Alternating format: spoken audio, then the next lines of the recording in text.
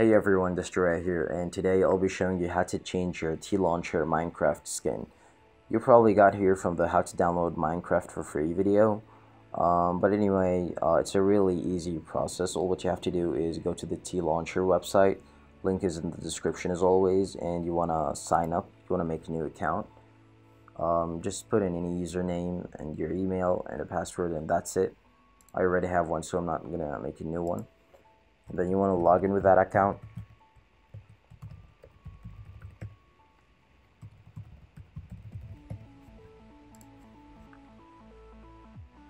So as you can see your skin will be right over here. I'm still a Steve because I haven't changed it yet.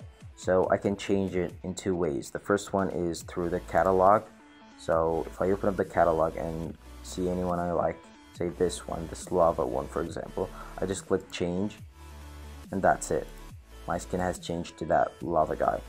Um, but let's just say that I don't like any of the ones in the catalog or I just I, I made a custom one that I want to use. So what you want to do then is upload skin upload your skin. So I just downloaded this this dead element skin that I'll be using in this video.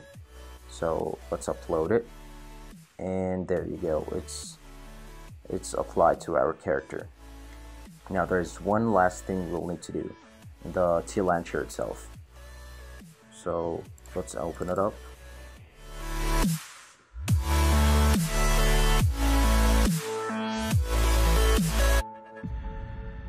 Once you have TLauncher opened up, you first of all you wanna you don't you don't just wanna log in with any username, like you don't wanna put anything here and then enter the game. No, you want to first of all check this box.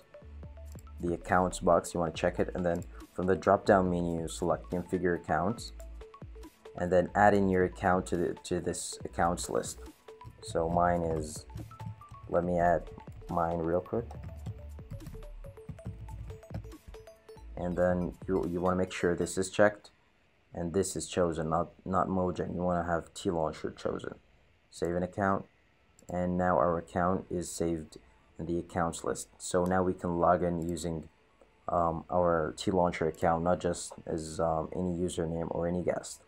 So that's one. Two is you wanna um, you wanna you don't just wanna join any release number. You don't want to join any server. You have to join one that has the letters TL next to them like this one 1.13.2 but it has TL an Optifine server. So if I log into this one, there will be no skins. But if I log into this one, I'll see my skin and I'll see other people's skin. So you want to log in using your account and you want to log in into a server that has the letters TL next to it so that you, you can see your skin and other people's skin. And that is um, basically it. I'll just show clips of before and after. Before I changed my skin and after I changed it. So yeah that was it guys. Don't forget to subscribe and like if this helped you. And I'll see you guys in my next video. Peace